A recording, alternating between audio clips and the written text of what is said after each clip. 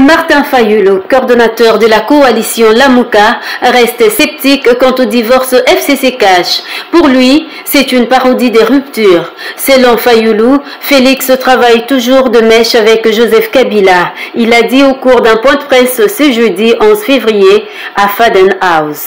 Union sacrée était euh, une deuxième grossesse du couple Kabila-Tshisekedi. Qu'est-ce qui vous dit aujourd'hui que les deux se sont séparés?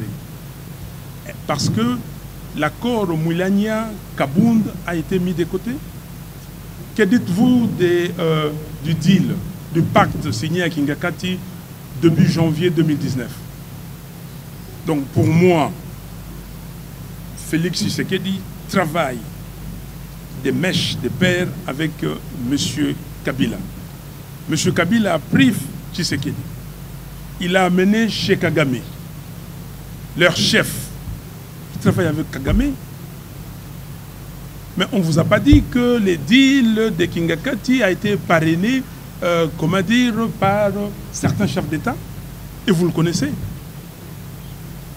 Donc pour moi, il euh, n'y a pas de souci à ce niveau-là.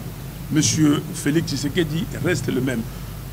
Il faut qu'on nous amène les deals de Kingakati et qu'on nous montre que dit ces deals-là et quand est-ce qu'on va le mettre de côté?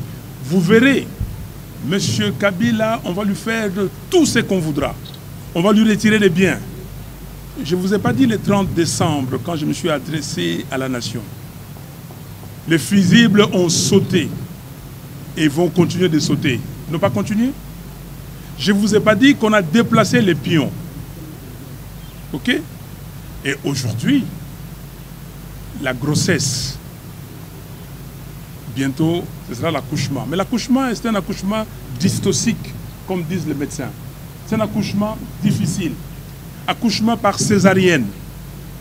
Et on nous apprend d'ailleurs que c'est peut-être des jumeaux. Des jumeaux, mais vous avez compris, vous êtes journaliste. Vous avez compris à l'Assemblée nationale, la coalition gouvernementale élargie.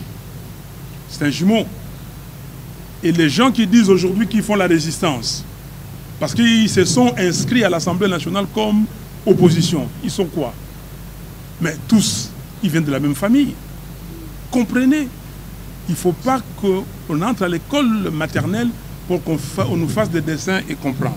Le président délécidé a également dénoncé les violations de la Constitution par le chef de l'État, Félix Antoine Tshisekedi, et soutient que toutes les institutions actuelles du pays sont illégales. Pourquoi M. Kabila a pris M. Tshisekedi? C'était pour le protéger. Et ce qui reste, c'est qu'à l'Assemblée nationale, c'est la même Assemblée nationale, où le président actuel est un transfuge du FCC ou le vice-président, c'est le même vice-président qui était à, l'origine de cette assemblée et euh, qu'on a écarté disant qu'il était incompétent, qu'il avait fait outrage à l'assemblée. Mais est-ce que dans un pays sérieux, quelqu'un qui a été régné par une assemblée et la même assemblée le remet, le réhabilite? Mais comment? Donc, il n'y a rien qui a changé, mais simplement la diversion. Le président délécidé demande au peuple congolais de garder un œil vigilant sur la Constitution.